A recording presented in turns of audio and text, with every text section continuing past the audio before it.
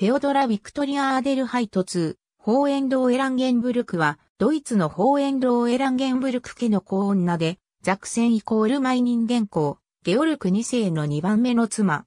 ホーエンローエ＝ランゲンブルク公、エルンスト1世とその妻のフェオドラ・ツー・ライニンゲンの間の三女として生まれた。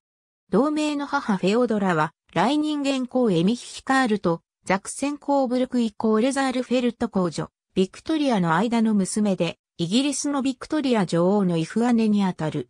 1858年10月23日にランゲンブルクにおいて、当時は皇生子だったゲオルク2世と結婚した。ゲオルク2世は最初の妻であったプロイセン王女シャルロッテと1855年に死別しており、すでに二人の子供の父親だった。19歳で結婚するまで甘やかされて育ち、公爵夫人となる準備のできていなかったフェオドラは音楽に対する関心もなく、知性も持ち合わせなかった。このため、芸術家肌の夫との仲は良好とは言えなかった。